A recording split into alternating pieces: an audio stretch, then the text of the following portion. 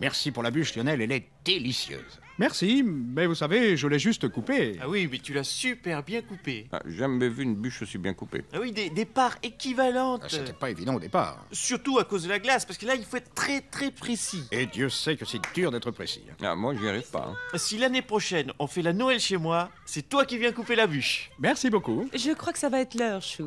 Ah, très bien, j'y vais. Oh, oh, bonsoir les enfants, c'est le Père Noël. Bah non, c'est pas le Père Noël, c'est Lionel Jospin. Mais, mais si, c'est le Père Noël. Ah. Qui c'est qui a été sage cette année et qui mérite un beau cadeau? Mais non, c'est pas le Père Noël, c'est Lionel Jospin, Taisez-vous, regarde. les enfants, si on vous dit que c'est le Père Noël, c'est le Père Noël, c'est tout. Mais non, c'est Jospin, il est tout pourri son costume. C'est le Père Noël. Puis le Père Noël, il a pas de lunettes, il a pas quatre yeux. Continuez, Père Noël. Non.